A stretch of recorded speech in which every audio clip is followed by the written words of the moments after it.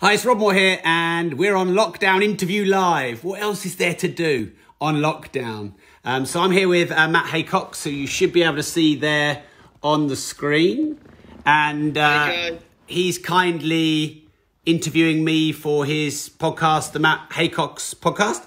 Um, so I am his humble servant. We're streaming to his community as well. So we're doing like a simultaneous double live stream. Let me get a better angle where there's less light in the background. So yeah, um, Matt, I'm all yours. Let's do it. Okie dokie. Guys, it's Matt Haycox here, and today I've got a guest with me who, for many of you, will need no introduction at all. He's the man, the myth, the legend, Mr. Rob Moore. For those of you who do need a bit of an intro, he is the co-founder of the Progressive Property and Progressive Success Empire. He's also the host of a number one podcast, which is Disruptive Entrepreneur, which I do listen to. He's one of the very few I subscribe to. So looking forward to asking him some questions myself. Um, and I know a lot of you guys are looking forward to getting involved with this as well.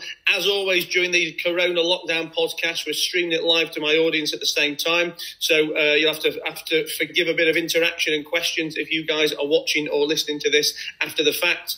Rob, thanks for being here, buddy. My pleasure. Thanks for having me. It's it's kind of um kind of fun to do these on Zoom. I'm like you. We were talking before, and I prefer doing podcast interviews and discussions face to face because I think you have that connection element, that human element. You don't have that little lag sometimes when the connection isn't quite perfect, which can just break a bit of rapport. But of course, now that we have no choice, um, we could do plenty more of these, and everyone's on Zoom now, or BeLive, or StreamYard, or Facebook Live. Um, so yeah, and by the way, this isn't a dressing gown. You said this was a dressing gown. This is an expensive jumper. I, I, I, wouldn't have said that to show you up now on camera. Now. I, have had a shower and got spe- got specially ready for Rob, but he comes on the comes on the stream. I thought he was wearing his cozy young dressing gown. I am going to put my pajamas back on again. Um, but no, it's, it's, it's, interesting what you say, and, and, I guess I'm I'm trying to take as many positives out of this situation, and, and that's obviously what I'm talking to my audience about, and I'm sure I'm sure you are too. And and I think some of the some of the changes that have happened during this will actually stay in place afterwards for me. And one of the big ones with one of the big ones with the podcast, I think, is on the bigger interviews, you know, either the celebrity guests, the better known guests, or the ones where there's much longer conversations to be had, I'm always going to want to try and do those, do those in um, in the flesh as much as possible. Like you say, you've got that that rapport, that rapport, and it's, it's just there's just something better about it. But I think this has also given me the time uh, to get some guests on who maybe in the nicest possible way you can't talk to them for an hour, uh, but you know, but they've got five or ten minutes of interesting conversation here and there, which you know, which we can strip down into smaller podcasts or smaller sound bites or whatever. So I think I think as a strategy going forward, I'll, I'll, I'll definitely keep these, these remote podcasts in my in my armory. Now, listen. T- tell tell tell the guys tell the guys who don't know you um, a, bit about your background, how it started. Because when, when I was genning up on this, I think you started as an artist, didn't you? So tell us how do you go from artist to property developer, investor, trainer, and all around superstar? Yeah. So how do I tell my same story in a different way to my audience who've heard it a hundred times? Um, so my dad was an entrepreneur, is an entrepreneur and uh, always taught me the value of work, going to get work, getting a job, going and hustling for work from the age of six. Um, and I used to go around washing people's cars, and I used to go do my the excuse me the bottling up at my dad's pub, and the cleaning and the tidying and the emptying the fruit machines and the pool tables and counting all the money, uh, and that was how I was raised. And then I went to school and got into the school system and GCSE and A level um, and, and felt like I was restricted in the school system. It wasn't really for entrepreneurs, was it? Um, you know, you doctor, dentist, lawyer, accountant, that's fine through school. Um, but entrepreneur, someone who works for themselves, it's not really the way the school system um, procures you, develops you. And so I felt that got stifled. And then I lost my way. I went to, to GCSEs, A levels, and uni, and just really got interested in kind of girls and hanging out with my mates and not, you know, I only did schoolwork because I didn't want to fail. I didn't do schoolwork because I enjoyed schoolwork. Um, I went to university only because I didn't want to be deemed as a failure. I just didn't enjoy university at all from the, the, the subject perspective. Um, and then came back and was supposed to just work in my mum and dad's pub for a couple of months because dad was getting, dad was a bit ill and mum said, come and work for a, you know, the, the, the summer holidays until you decide what you want to do career wise. And I said, fine. And then three years later, I was still there. And I'd built up some debt from university and then three years working in my mum and dad's pub and earning 200 quid a week, but spending 250 quid a week and getting a car loan for a car and going out every weekend and drinking and socializing. And I just kind of lost the sense of who I am um, and what I wanted to do with my life. Now, one thing I feel strongly is that at school, no one ever sat me down, none of my teachers, to say, Rob, what do you, who are you and what do you want to do with your life? Who are you and what do you want to do with your life? Who are you and what do you want to do with your life? And I think you should be asking that yourself regularly. And I didn't ask myself that from the age of probably 12 to 25 years old. No wonder I was lost. Um, and then, um, long story very short, is my dad had a big nervous breakdown in his pub. He got sectioned in front of everyone, including me and my family. Um, and he, um, it was our first experience of his bipolar, and it was hard. And I felt a lot of shame because my dad had worked hard through school, me, you know, putting me through all private schools and paying for my university and my accommodation and giving me everything I'd needed. But that young entrepreneur he'd sort of raised, I'd, I'd lost that sense of self um, and I'd got comfortable and bored and complacent and, and somewhat dismissive and arrogant, I suppose. Um, and I didn't really have any direction. Um, and then when that happened with my dad, it woke me the fuck up really quickly. It was like a big, big, big wake up call because um, it was the hardest thing that's ever happened to me. But it was also, it, it was so hard, but he didn't die. So it was like I still had another chance. It was like a, a, a warning or a light bolt of warning, but I had I had a chance. So then I started reading books on personal development and ed- education and money. I started going to property networking events and um, started looking into all the business opportunities that are out there.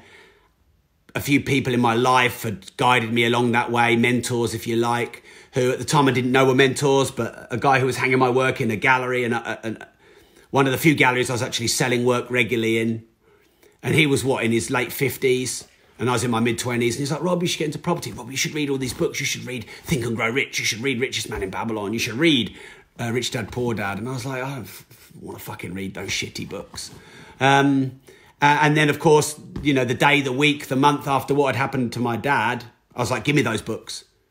Where are those networking events? I'll go because I was all of a sudden humbleized to the point where I was a humble student instead of a complacent, cocky, someone know it all, even though he knew nothing.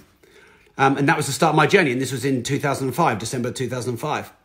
Um, I met my business partner at my very first networking event, Mark Homer. We now own, co own, manage over 800 properties together. We have various companies. The, the worth of those is in the tens of millions. Um, and life's very different. And of course, you know, my podcast done really well, my books have done really well, my personal brand does well, um, all because I tuned into and found my journey, you know, who I am and what I'm meant to be. When people ask me, who am I? I'm an entrepreneur and I know that in my bones. And even though all those people are going online and say, oh, well, what, what really is an entrepreneur and how do you, can you define an entrepreneur? And they have to have done this and that. Nothing anyone can say can make me feel any different about myself. I know I'm an entrepreneur. I know it's what I'm meant to do for the rest of my life and I love it. And I'm kind of addicted to it.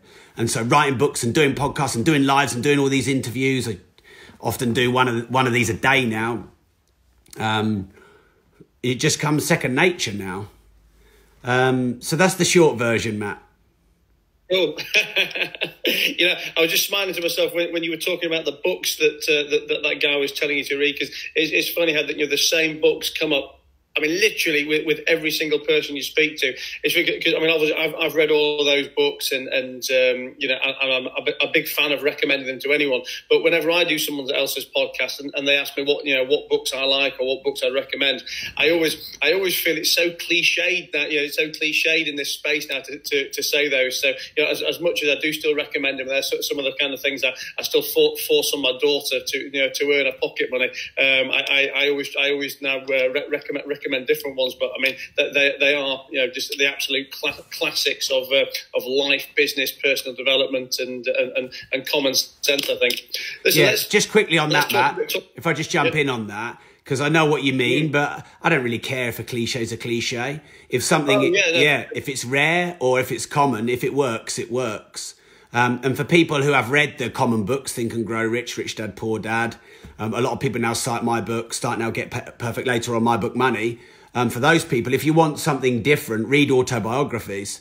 Because if you read up on virtually any successful person and in totally different areas of life, so I like reading up on musicians, you know, film stars, celebrities, sports personalities, um, singers, um, people who are in bands, uh, because then you get the common traits of success, which I think we need to learn, but the individual traits in individual people and individual niches. So once you've gone beyond the maybe 30 or 50 um, like staple diet personal development books, which are vital, like you said, Matt, and maybe some of them are cliche. I'd love one of my books to be a cliche because that means it's sold 10 million copies. Um, then, then go on to autobiographies. I've got so much out of book autobiographies, but also the film ones, you know, on Netflix, all the business and successful, like the, um, Taylor Swift one was really good. I watched recently. The McQueen one's the best one ever. The Steve Jobs one is obviously really good. The Arnold Schwarzenegger ones are great. There's so many good ones. Um, yeah, so sorry, Matt, you were just going to ask me something. No, but, but it's, it's interesting what you say as well because it just makes makes me think of another point, which is I guess you when when I do these podcasts, you know, I, I do them with a whole manner of different people, you know, who, who are all successful in some kind of field. You know, maybe not traditionally successful or, or, or, you know or stereotypically successful, but you know, but but they've all they've all got some kind of story to tell and some kind of ad- advice to give. And you know, I was asked recently what you know what my kind of one um, goal with all my podcasts I do is and uh, and obviously aside from aside from growing my own audience you know what what I really want to be able to do is to say that at the end of every every podcast you know whether it's 10 minutes long or 60 minutes long that there is a single piece of you know immediately actionable and tangible advice you know that, that, that, you can that you can take away from that person you know wh- wh- whether they're old I've got two. two two pieces of advice Yeah, I'll give you. I'll give you them right now. I'm sure you've got plenty more plenty Yeah. more So one would be Start Now, Get Perfect Later. I wrote a book called Start Now, Get Perfect Later, and I speak to thousands of startup entrepreneurs who are scared to start, scared to do a live, scared to quit their job, scared to scared to start their second side hustle. You know, scared to take whatever plunge or action. Um, and no one is perfect when they start. Every master was once a disaster. Every winner was once a beginner. So it, immediately, if you take the one bit of advice, Matt, which is to start now and get perfect later, I think your life will become meaningful. Uh, I think you will have growth, progress, satisfaction, value. Um, I mean, every, every black belt was once a white belt. You know, every um, amazing musician was once a grade one, or not even a grade one. And then the second piece would be if you don't risk anything, you risk everything. So I suppose if there's two quotes I'm the most known for, it would be start now, get perfect later. And if you don't risk anything, you risk everything, which I say at the end of every single one of my podcasts and videos. I must have said that quote 50,000 times. If you don't risk anything, you risk everything. Um, so you, you can take small risks, calculated risks, um, comfortably uncomfortable risks. But, you know, life is about constant and progressive risks. You know, we don't know the results before we go into anything at all. There is no guarantees of anything in life. But if you don't risk anything, you risk everything. So let's, let- let's let's let's talk about property in Corona specifically. I mean, how how was how has your business been been affected during the crisis, uh, and and what and what advice are you giving to your mentees? I mean, how can people still get involved in the property market right now, or or, or, or can't they? Is now the time for education to you know to, to, to be ready when they come out? I mean, I mean, I'm you know I'm not big in property, but you know, but but, but I do I do have a property investment business myself, and you know, as, as much as you know we're we're still hungry for business, and and you know we are coming across some good deals because there's people who are hungry to sell. You know, the physical transaction process is getting difficult. I mean, I mean, I, I had a sale. Of, I mean, a, a property we bought recently that we were trying to sell. Um, the sale fell through yesterday because the buyer's buyer uh, fell down in a chain because you know he he, he didn't want to um, he didn't want to move during Corona. So that you know, th- there's as much as there's opportunities, there's all kinds of you know uh, problems as well. I mean, what, what, what's what's your take as the as the property master? How, how can we how can we su- during this time? Okay, so there's two areas or three areas even I'd look at. One would be our construction development sites. one would be our general portfolio, and one would be our training business. Um, and they're all different. So I'll go with the property angle first and not our training business. Um, so obviously you've got to try and um, negotiate with your landlords and or your tenants to keep as much money coming in and as little money going out as possible. And the whole world is on that hustle right now, that survival. So speaking to your landlords and your tenants and negotiating either them not having a payment holiday on you and or you having a payment holiday on them, depending on where you're at and what your affordability is. The next thing I think is accelerated immersion. So the reality is you can't do viewings now, but some um, auction houses are allowing you to um, they're, they're, they're doing video viewings and they're still doing auctions. So you can sit in and watch, watch auctions. Don't buy, um, you know, but watch and learn. All that, those online courses you've wanted to do for a long time, those podcasts you've wanted to listen to, those audio books you've wanted to listen to, you know, that course you've wanted to go back to that you did before, those communities you've wanted to engage in more, you can do that now in an accelerated fashion. Um, so my training business, Progressive Property, it's the UK's largest property training company. We've uh, created a lot of online courses now. We've launched our rent to rent online course. We've launched our desktop deal packaging course.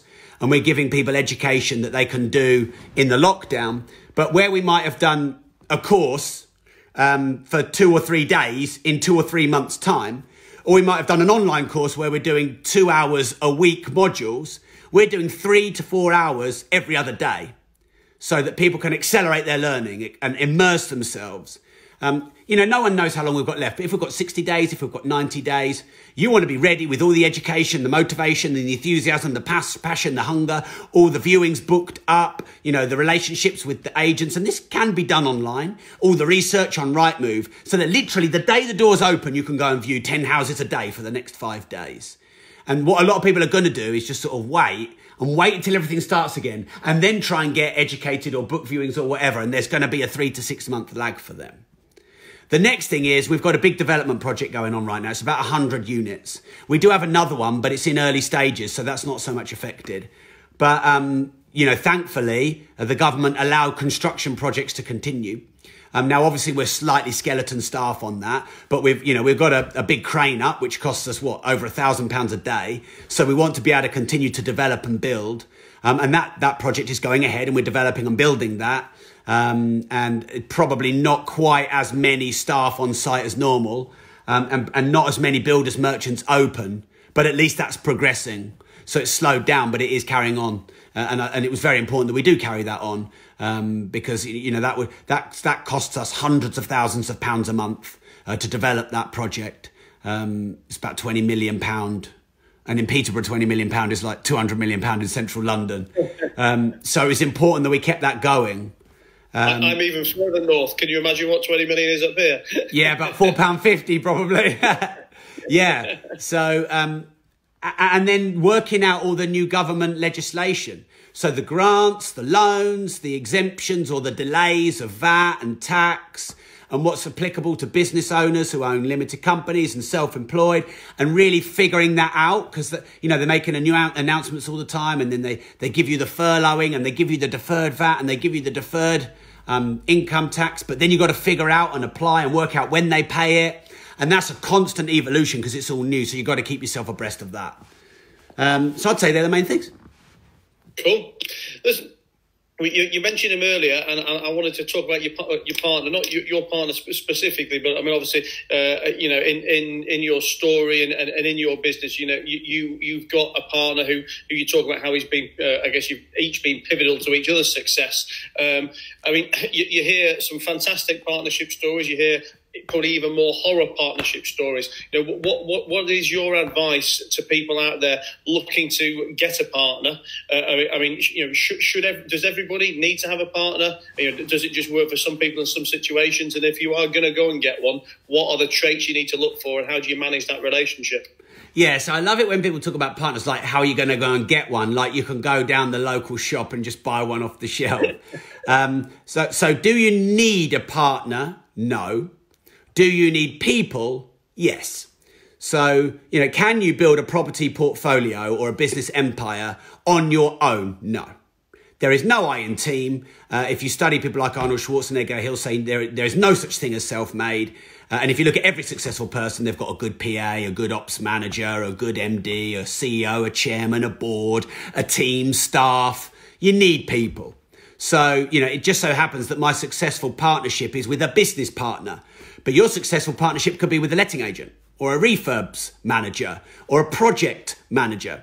So you don't specifically need a business partner who you have 50 50 shares in everything, because Mark and I have 50 50 shares in everything. Um, but you do need people and good people. And that is great leverage having good people. You know, a construction or project manager knows way more about project managing construction site than me. So I leverage their experience. Because they get em- employed by me, so they leverage my, my money and my experience. I can't, um, I can't do the conveyancing for a house. I can't do the legals for a joint venture, but a conveyancer or a, a commercial solicitor can do that. Now, uh, the great benefit of having a partner over just an individual who's in your team is um, I guess, increased leverage, increased support, increased loyalty, accountability. Um, feeling like you're not alone, feeling like you're in the trenches with someone. You celebrate the successes together. You support the, the defeats together. Uh, and that, for me, are the greatest reasons to have a business partner. Um, and, and, and I think it depends on your personality as well. Um, if you're a bit of an introvert, um, there would be an argument that maybe one isn't right for you, but there'd be an, a counter argument that maybe you should have one because you're an introvert. Yeah. Um, so the, the key to having the right people is that they are the opposite of you. That's the main key. I think similar vision, different skills. So with Mark, Mark wants to be in business for the rest of his life. So do I. Mark loves property. So do I. Mark loves business. So do I. Mark loves, you know, the, the, the chase and the thrill of the deal or making a bit of money or doing well. So do I. We're similar age. So the main values and the vision is similar. But then everything else is different. Um, so he's numbers, analytical, bit of a worrier, bit of a doomsday thinker, very careful, focuses on on being lean. Whereas I'm much bigger picture, uh, probably uh, more energy and drive and push. Um, more chaotic for sure, more creative, definitely. Sometimes dis- more destructive. Um, he's more ordered. I'm more chaotic. I'm more creative. He's more um, technical. I'm more strategic. He's more operational. And there's, there's, so therefore there's a, that, that symbiotic fit. And what a lot of people do is they try to go in business with themselves and they don't realize it. They try and hire themselves and they don't realize it. Because unconsciously our ego wants people to agree with us and to be like us. And we only normally agree with people who are like us. But you don't want to go into business with yourself. That would be, you know, if, if two people in a business partnership are doing the same thing, then one person isn't needed. Now, to find one, you just have to look. But the key is to look without them knowing you're watching. So, what Mark, my business partner, is really good at is he's really good at going, Oh, I need this person. And I will watch them online for three to six months. And I will go to networking events and I will talk to them. And they have no idea that he's testing them or watching them or that, you know, he might potentially work with them in the future. Because Mark believes that as soon as you tell people that, you know, you want to work with them or there could be a partnership, they start selling to you or they start showing you their best self instead of their real self. Um, so, and a lot of people jump into partnerships too early. So Mark and I didn't jump into partnerships too early and he watched me at a distance for two to three months before he decided to do any, anything in the form of a partnership with me. Now for Mark, two to three months is quick. And I think the reason it happened quick is because I met a lot of his. Um, I was so different to him that I ticked a lot of boxes that he couldn't tick. And, and I'm pretty good at starting things and making things happen fast. That's part of who I am. Um, and then when we partnered, we did it low risk. So a lot of people think you've got to get a heads of terms and a consultancy agreement or a partnership agreement, got to get a commercial solicitor involved. And look, for big deals, yes. But when you start a partnership and maybe, maybe why don't you start buying one house together? And, you know, one, the person, Mark put the money in, so he had the first charge. And then I got uplift on the equity. Um, and so his risk was covered. I got, um, up, I got upside, but he had all the risk covered. You know, I didn't, uh, I wasn't, um, he wasn't, um, he wasn't assuming any risk. Um, so the first property worked, so he bought a second. The second property worked, so he bought a third. The third property worked, so he bought a fourth. Um, yeah. Fantastic. Listen, let's let's talk branding. Uh, I mean, obviously, you are everywhere now. Uh, you know, uh, you, are on you're on the internet, you're on social media. You've got you've got your own podcast. You're, you're an author and a speaker, and you, you, you're clearly someone who has um, who has fully fully embraced you know, the, the concept of the personal brand, and, and I guess all, all, all the great things it will do for your business. Um, I, mean, I mean, when when did you decide to go all in on it? You know, what what inspired you, or who inspired you? When when did you realise that you know that, this would make make the difference to be able to leverage your business? I probably went in on building my personal brand all in probably about five years ago, Matt.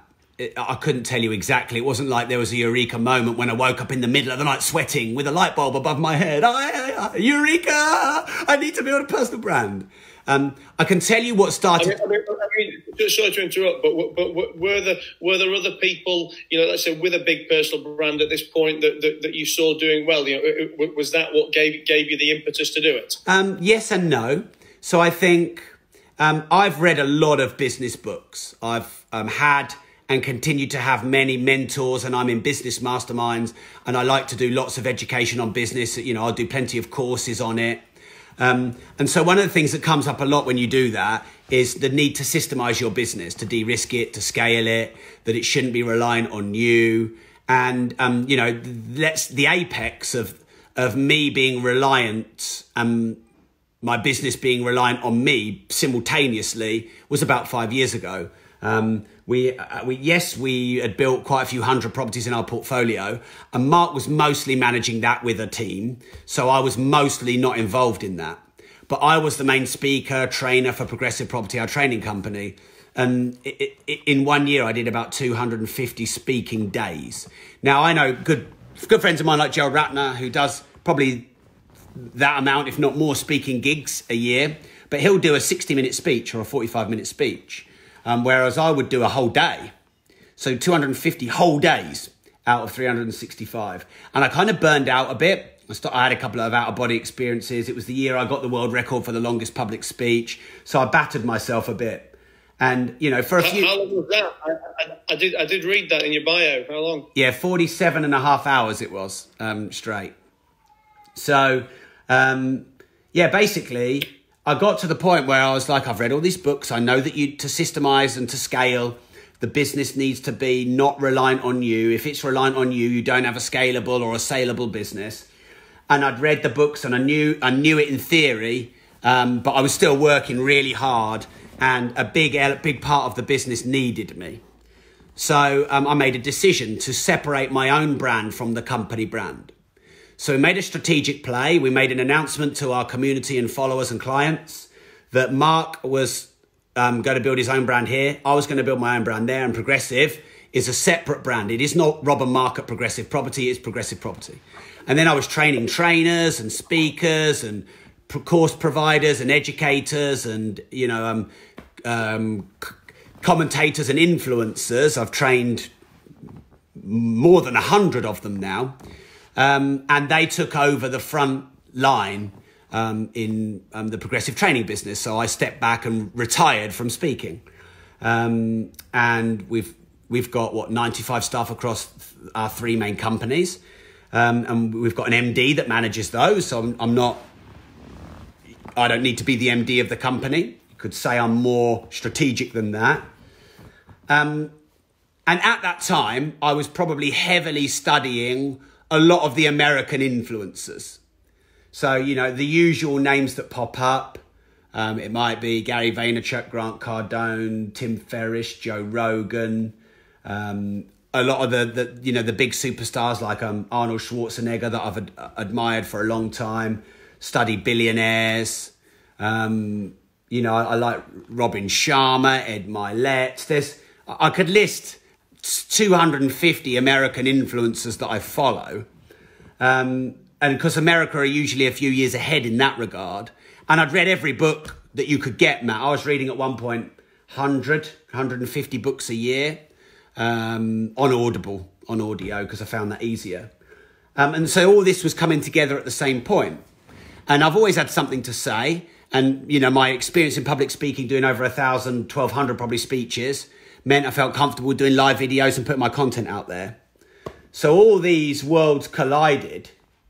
um, about five years ago. And then I just made the strategic plan. Right, I'm going to start teaching entrepreneurship and business, not just property.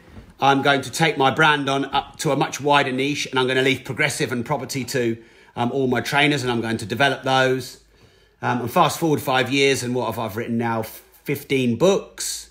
Just finished number 16. is called Opportunity. I've got two podcasts, which have got millions of followers and downloads. I think I have about nearly 2 million followers across all the platforms. I think I have um, more than two and a half million views a month on social media and YouTube. And I'm not a celebrity. I've not, um, you know, got millions of followers by being a famous name. I just put regular content out there, put a lot of content out there.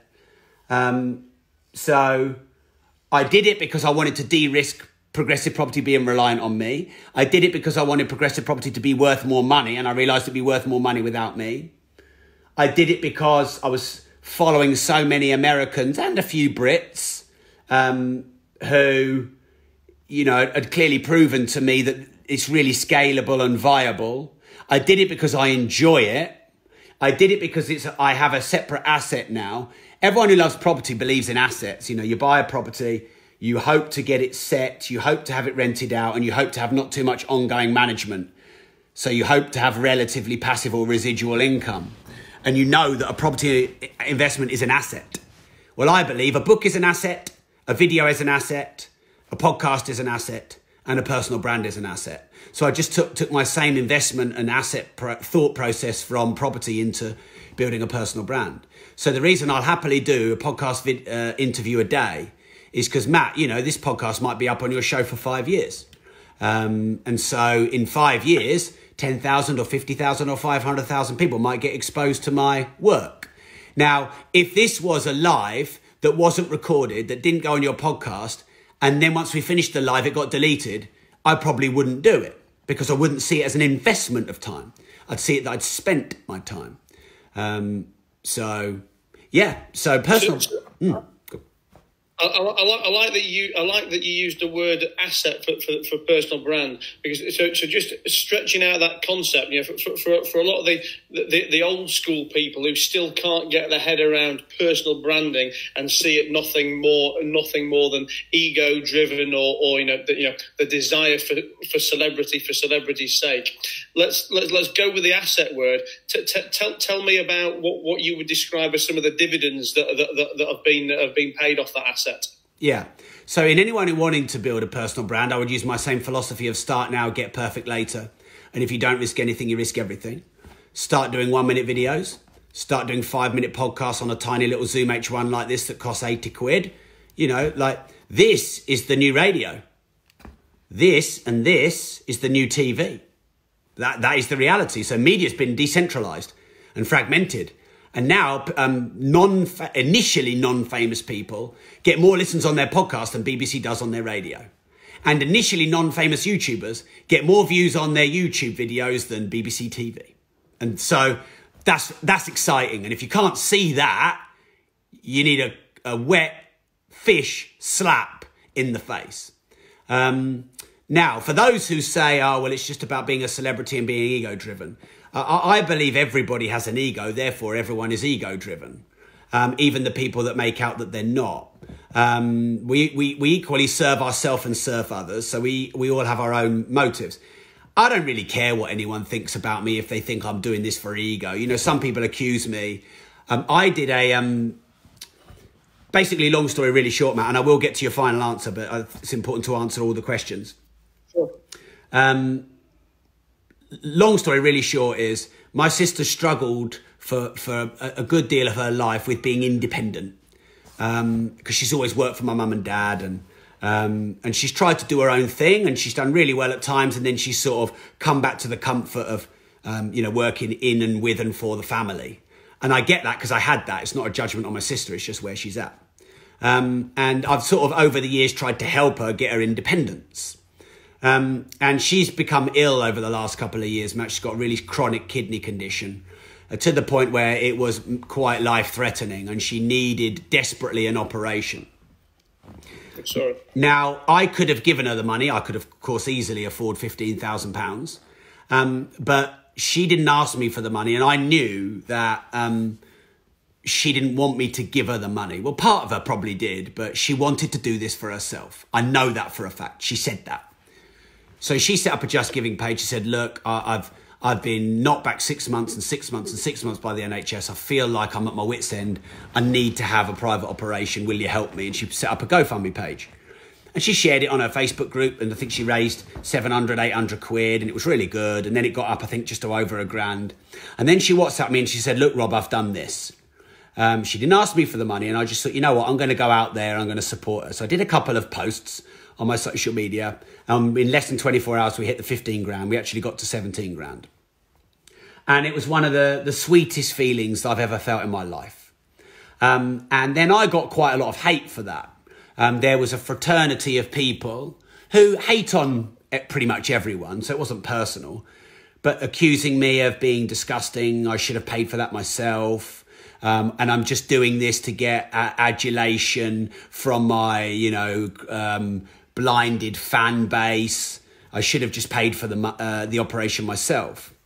Um, and that proved to me that it doesn't matter what you do and the good that you do in the world and how you do it, there's always going to be someone that criticizes you.